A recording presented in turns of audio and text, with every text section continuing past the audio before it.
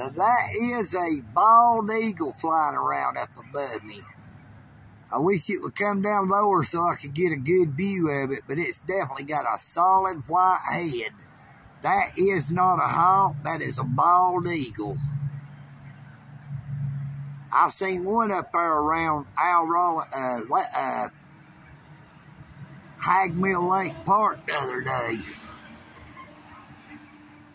It's getting a little bit too far out of view. There's that moon for you. But that is a bald eagle, and they was four of them there crow buddies of mine flew over a while ago. But that bald eagle's just flying around up there, keep an eye out for old Eagle Nick.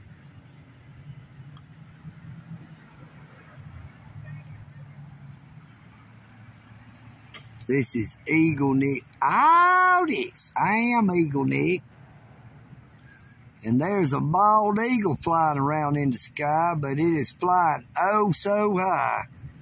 I wish it would have been a lot lower. There's that Dalton Police Department again, number 72, fixing to back back up in and do what he do. You know what I mean, Vern? Now, it is against the law to back on the roadway and he would give you a ticket if he seen you do what he's about to do. Do you watch this? What he's about to do is illegal. Anybody else would get a ticket for that. That is illegal to back in the road. That is what I say about it is not right how they do stuff that they would give other people a ticket for. They think they are above the law and they are not. Backing up in the middle of the highway, which is illegal as heck. You know what I mean, Vern? That qualified immunity needs to go. Dalton Police Department, vehicle number 72. You need to quit. You need to stop backing up in the middle of the highway. That is a major artery, a major highway. Now, they do stuff that they would give anybody else a ticket for. They allow their friends and them big shot well-to-dos to park anywhere they want to. But if they seen poor people doing the same thing, oh, look out. You know what I mean, Vern? It is time that they treat everybody the same, no matter the color of your skin or what happens to be your name. You are not better than anybody else. We got you on camera. You know what I mean, Vern? We will hold you accountable. Eagle Nick. All this.